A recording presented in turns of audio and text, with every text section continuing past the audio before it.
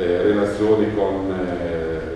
eh, 30 anni di storia racchiusi in 280 pagine di foto, documenti e testimonianze che raccontano la nascita di un'amicizia tra due città. Si chiama Gandia Fano, diario di un lungo viaggio ed è la prima fatica letteraria di Mauro Tallevi, fanese residente a Gandia in Spagna, che incarna nella sua persona il gemellaggio da lui fortemente voluto e di cui è stato protagonista tra le due città nelle quali ha vissuto e che ha sempre amato nello stesso modo. È un album fotografico fotografico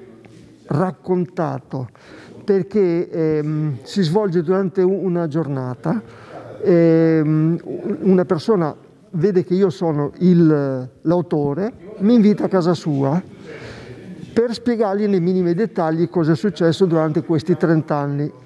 E quindi eh, vado a casa sua, mi offre il caffè, poi dopo siccome è una bella giornata usciamo e andiamo e portiamo via sempre questo album e, eh, e così lo commentiamo in diretta al vivo eh, tutti i passi che sono stati fatti per chi sono dei fan e mi piace il fanese eh, pesa 1 kg 770 grammi questo è il mio primo figlio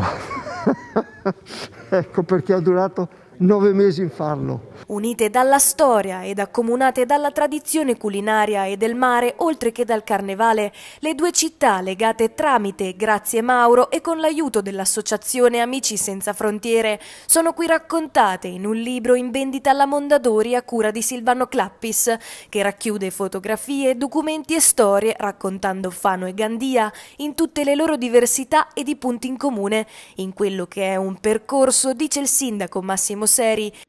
di fidanzamento tra due realtà lontane geograficamente ma vicine tra loro grazie al gemellaggio. Un libro che diventa un racconto, una testimonianza di questi 30 anni e sono anche quelle occasioni per mantenere anche una memoria